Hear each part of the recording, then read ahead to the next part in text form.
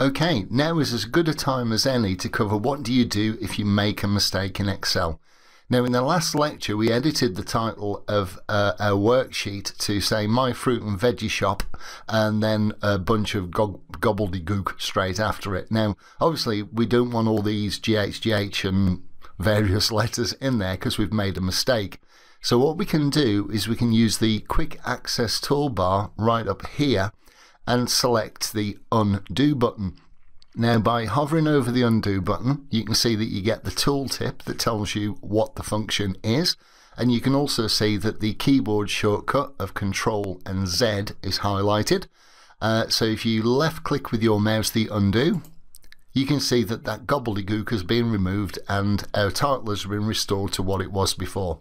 Now similarly if we move over to the right we can see the redo button and the redo, it performs exactly the opposite function. So if we hit the redo, it'll take us back to how we were just a few seconds ago.